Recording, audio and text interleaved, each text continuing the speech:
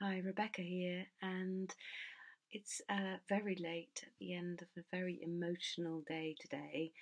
Um, and there was a lesson that my son taught me today, which I wanted to share with you.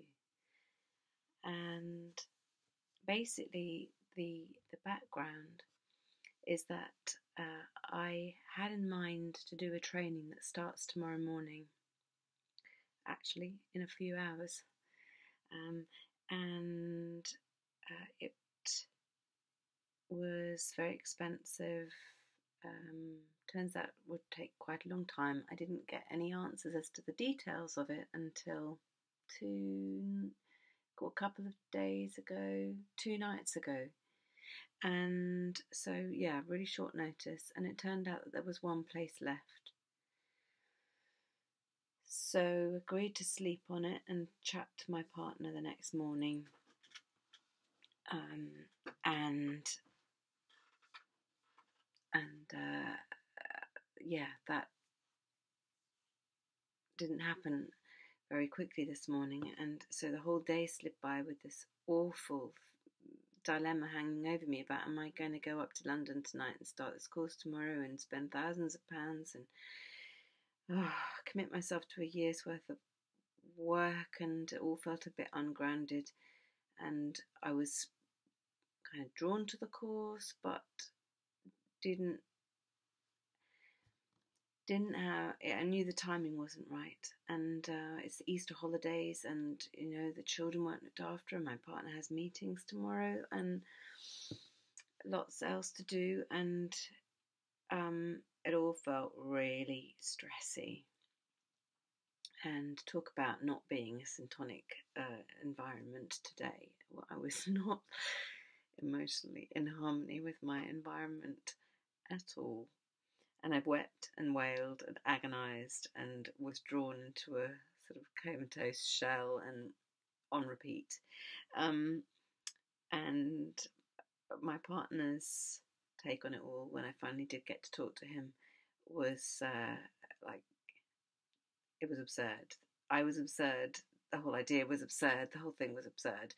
And uh, it was like I was announcing I was going to climb Mount Everest tomorrow and buy the clothes on the way which kind of isn't far off really because I feel like a country bumpkin with nothing to wear and um, nowhere to stay, as it turned out. But um, in all of the decision making process, I needed to consult my eight and a half year old because it's his holidays and you know.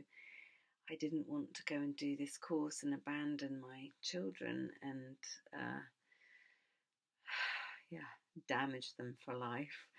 Um, and so I had the first time I had asked him when it first came up, he was like, "Oh, mommy, no, don't go." And then I said, "God, I just never will escape." I, you know, um, and then later uh, on today, I I asked again, and I think I'd, I'd annoyed him, and so he, he, was like, "Just go, just go." And then finally, I said, "I said, listen, I need to know how you feel if I were to go and do this. And uh he was just a bit exasperated with me and turned around and said, Mommy, just do what you want. And honestly, it stopped me in my tracks because I've been so focused on the things I didn't want. I didn't want to them to feel abandoned if I went off for the rest of the holidays. I, I didn't want to waste my money on a course if I couldn't really make the u- best use of it or if I hadn't, you know, really like checked it was congruent and aligned with what I want to do. I, I, I didn't want to start something that was a huge time and money investment if I hadn't tied up the loose ends of things, and, and we recently re- relocated, and there's so much to do here. And um, and and to embark on something that would require a year's worth of work after the course um, was not really something to take lightly. In a way, my partner was right, um, and to rush into. I suddenly realised that I had been focused on all the things I didn't want And when he asked me that question, just do what you want. Yeah, of course, it's a simplistic thing for a child to say, but sometimes children have such wisdom in that simplicity, don't they? And as adults, we get so caught up. And so I literally, I put on the gardening gloves, got my hands in the soil, started weeding, and um, in order to ground. And I thought, so what do I want? What do I want? What I want yes, I want to develop myself, I want to make a difference in the world, and I want to fill the memory bank of memories this Easter holidays with my children and enjoy that freedom before we get tied to the school runs again. I want to see the flowers grow in our garden for the first time since we've moved here.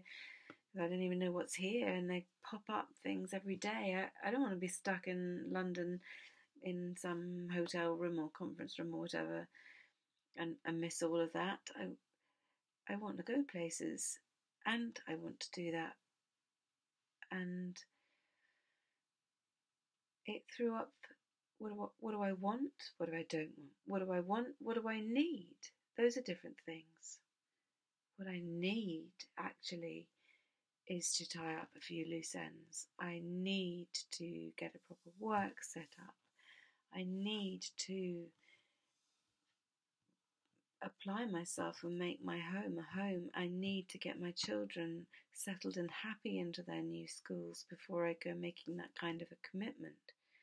And yet, this course started tomorrow, and I was stuck in this awful, just so, such a painful cycle of going round and round, back and forth. And and it came back to this what do I want? And I realized that when we focus on our fears, when our fears are what drive us and speak to us, my fear being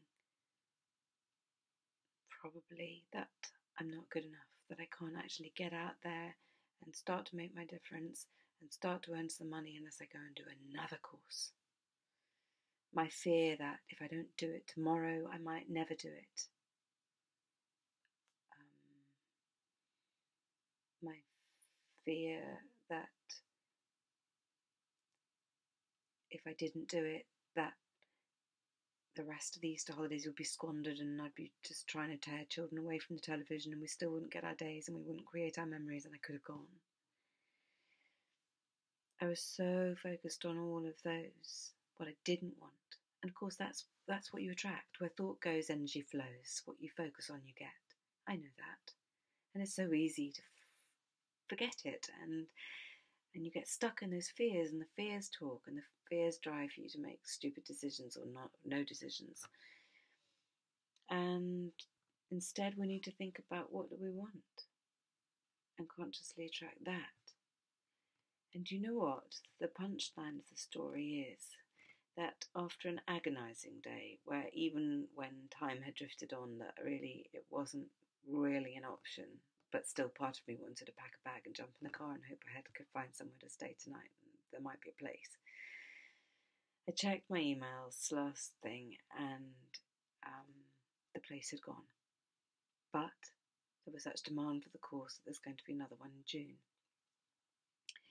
And that could work. That gives me enough breathing time to do the things that I need and to do the things that I want this Easter holidays with my children and to properly research into it and speak to the graduates and get experience the therapy myself before I go committing £8,000 on a year, a year's of work after the course, um, so that I can properly plan for and decide on uh, a course in June if that's what I decide to do and I can ensure that I do it because I definitely feel that that's congruent and aligned with my what I want to get out there for Syntonic, my Syntonic living journey and my contribution, um, and not that that decision is taken from a place of not feeling good enough because I'm a bit of a course junkie.